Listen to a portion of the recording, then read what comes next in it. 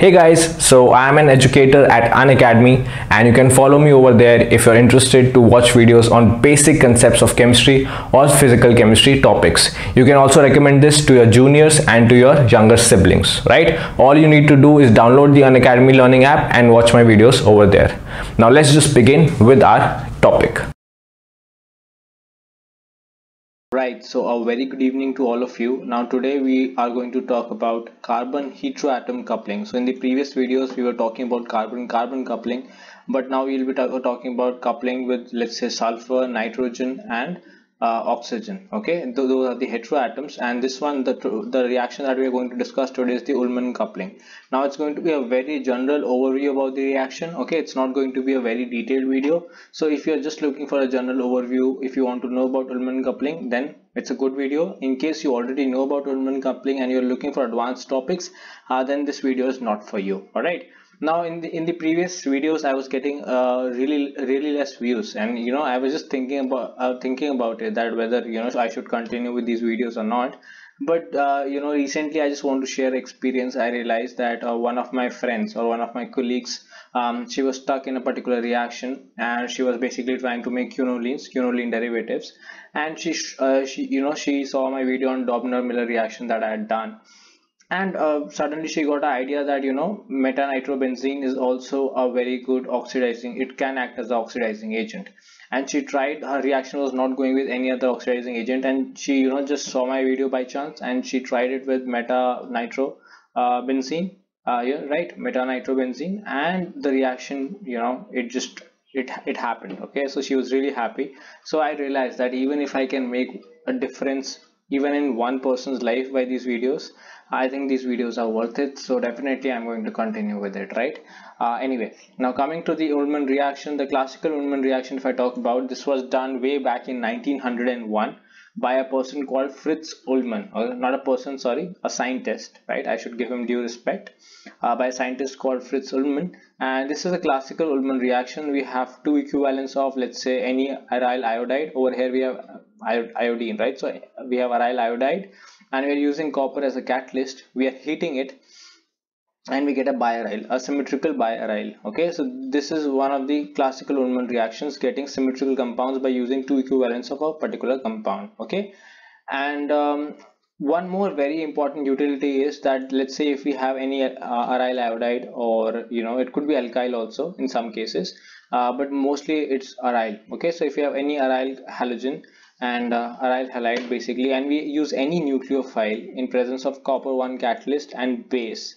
Uh, we can get that nucleophile attached. So it's like a nucleophilic aromatic substitution. So you can see the utility of this reaction especially especially in medicinal chemistry in medicinal chemistry and heterocyclic chemistry it has a great utility okay? Uh, because copper copper catalysts are generally very cheap as compared to let's say rhodium or palladium or platinum or all, all these other expensive expensive elements and uh, the salts of copper copper compounds are also quite cheap okay? And we can attach any kind of nucleophile. Like you can see the options over here. NHRR dash. We can uh, attach oxygen. We can attach thiols. So there are plenty of options. Uh, with, with the help of Ullmann coupling we can attach these compounds okay?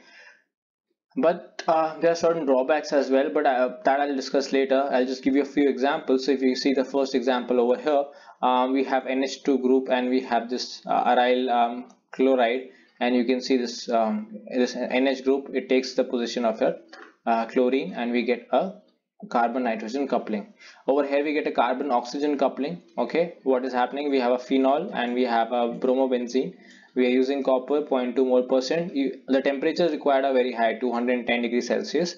In the, the, these are very old papers. You can see it's 1905 so these reactions were not that optimized. Today also you require high temperatures but not as much. Like uh, you just you you can do it in let's say 90 to 120 degrees celsius. Most of the ullmann coupling reactions happen in this range 90 to 120 degrees celsius. And again you get this oxygen uh, carbon carbon you know oxygen carbon bond right? So carbon heteroatom bond. Um, then we have a amide over here. Okay benzamide is there. And again we are using bromobenzene. So even though this NH2 is not very very nucleophilic because of the presence because the lone pair is participating in resonance even then you know uh, it is participating even though the yield will be less for this reaction but yes yes you can get this product as well. So you can see there it there are plenty of uh, advantages of uh, Ullmann coupling. Okay now uh, this this is another example. I hope you can figure this out as well by yourself. The fourth example. Again we have a bromo benzene derivative right? A carboxylic group at the ortho position and then we have uh, this compound uh, where you you know ch2 is very very acidic. This ch2 is very very acidic and uh, that's where the coupling is taking place. If you see this this is a, this is not this is nothing this is a carbon carbon coupling okay? So this is you can say this is not a very good example of uh, I will just check this reaction again you know just avoid this reaction for the time being the fourth one. I'm not sure why I have taken this in Ullmann coupling because it should be a carbon carbon bond this one is a carbon carbon bond forming reaction. So just let me go ahead and check this out alright? So you can ignore this example for the time being uh, right the fourth example. So these three examples you can have an idea about Ullmann coupling.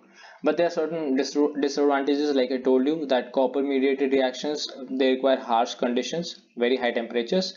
Even 90 to 120 degree to in, in you know uh, today's world is considered to be high temperature okay? You you most of the reactions today you prefer doing it at room temperature without any heating. So not these conditions are not very harsh but comparatively if you compare it in the modern world in the modern synthetic chemistry it is considered as a harsh condition.